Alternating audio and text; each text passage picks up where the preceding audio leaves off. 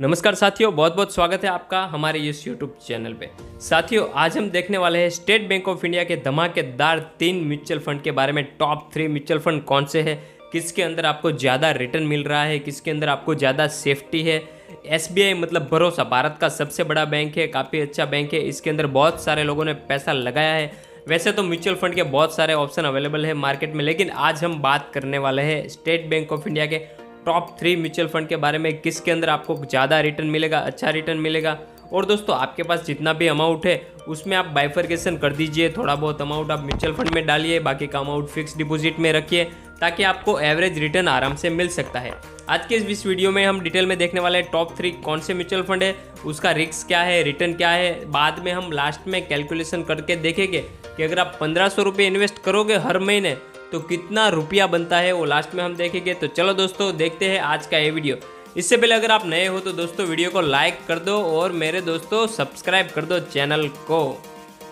दोस्तों, यहाँ पे सबसे पहले आता है स्टेट बैंक ऑफ़ इंडिया का SBI large and mid cap fund ये फंड का नाम आपने जनरली सुना ही होगा, क्योंकि ये फंड बहुत बड़ा फंड है, बहुत सारे लोगों ने इसके अंदर पैसा लगाया है, इसके अंदर बहुत ही अच्छी इन्वेस्टमेंट ऑप्शन है और उसकी जो रेटिंग है वो फाइव आउट ऑफ़ फाइव है मतलब बेस्ट फंड है। इसके अंदर आज मैं आपको ये तीनों mutual fund five out of five rating वाले हैं। यहाँ पे आपको बता दूँ, इसके ऑल टाइम रिटर्न मतलब अभी तक म्यूचुअल फंड आया है, तब से इसने रिटर्न निकाल के दिया है साढ़े सोलह परसेंट और पाँच साल की बात करें तो यहाँ पे इसने साढ़े बारह परसेंट तक रिटर्न निकाल के दिया है, और लास्ट वन ईयर की बात करें तो इसने पाँच पॉइंट अस्सी परसेंट का रिटर्न निकाल के दिया है। दोस्तों, यहाँ पे ये म्यूचुअल फंड काफ़ी अच्छा है आप एवरेज कर सकते हो इसके अंदर। और इन्वेस्टमेंट भी कर सकते हो। अभी दोस्तों, दूसरा वाला ऑप्शन जो है म्यूचुअल फंड का, उसका नाम है एसबीआई स्मॉल कैप फंड ये फंड के अंदर इक्विटी में पैसा ज़्यादा जाता है, इसलिए काफ़ी अच्छा ये फंड रिटर्न ऑफ़र करता है। इसका भी rating five out of five है।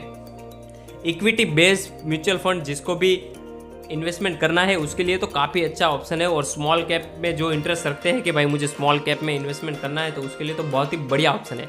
इसके अंदर ऑल टाइम रिटर्न की बात करें तो पच्चीस पॉइंट पचास का इसका रिटर्न है।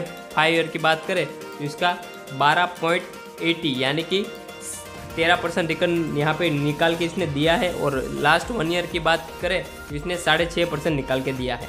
अभी दोस्तों हम आगे बात करें तो तीसरा वाला फंड है S B I contra direct plan growth ये काफ़ी अच्छा फंड है, काफ़ी सिक्योर फंड है। बहुत सारे लोगों ने इसके अंदर भी पैसा लगाया हुआ है। इसका ऑल टाइम रिटर्न की बात करें तो इसका ऑल टाइम रिटर्न है पंद्रह परसेंट और लास्ट फाइव ईयर का रिटर्न है तेरह परसेंट और लास्ट तीन तीन साल का इसने रिटर्न निकाल के दिया है थर्टी वन परसेंट यानी कि काफ़ी अच्छा एक इन्वेस्टमेंट ऑप्शन है।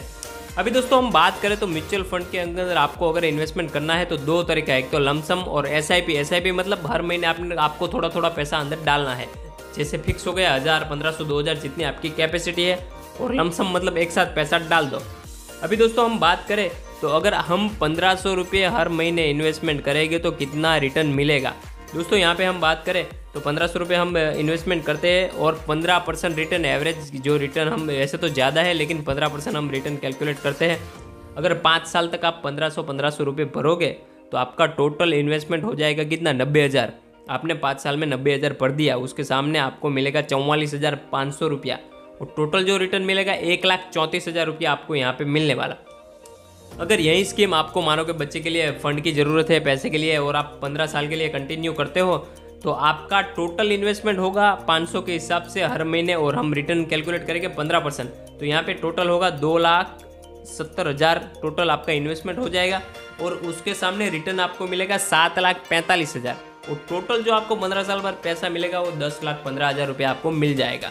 ये पंद्रह साल की बात है। अगर आपकी बेटी की शादी या फिर हायर एजुकेशन के लिए और आप लॉन्ग टेनर के इन्वेस्टमेंट करना चाहते हो, अगर मानो कि आपने बीस साल इन्वेस्टमेंट किया तो आपका टोटल इन्वेस्टमेंट हो जाएगा तीन लाख साठ हज़ार रुपया और उसके सामने आपको रिटर्न मिलेगा उन्नीस लाख तेरह हज़ार रुपया। और टोटल जो इन्वेस्टमेंट होगी, वो होगी बाईस लाख तिहत्तर हज़ार रुपया। मतलब यहाँ पे तेईस लाख रुपया जितना आपको बीस साल बाद आराम से मिल सकता है।